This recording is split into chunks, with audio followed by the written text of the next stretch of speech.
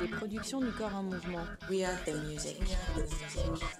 Welcome to another live body production.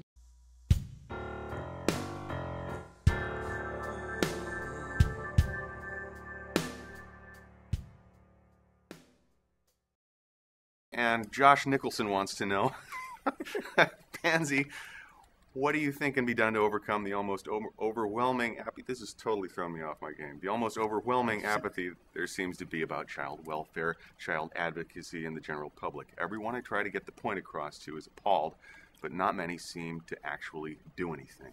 Amen, brother. I mean, that, that's the reality. People who work themselves up into a nice video position to talk about, you know, there's a human whose name will not come out of my lips who can make a living being professionally outraged at the horrors of any particular crime of the week. Court TV for a long time was all Scott Peterson all the time. Mm-hmm. This isn't outrage.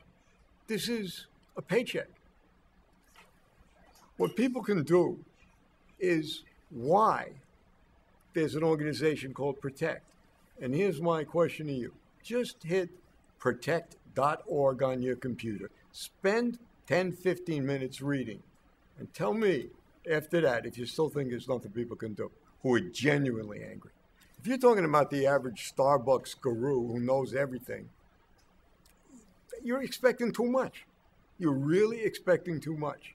Remember, my challenge to everybody about protectors to join, you'd have to give up dinner and a movie once a year.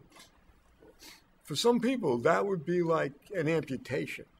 So, between the foodies and the movie guys, you know, it seems to eliminate huge amounts of people between certain ages. That's their choice. That's their choice. And I'm not saying you have to respect their choice, but their choice doesn't have to rule you.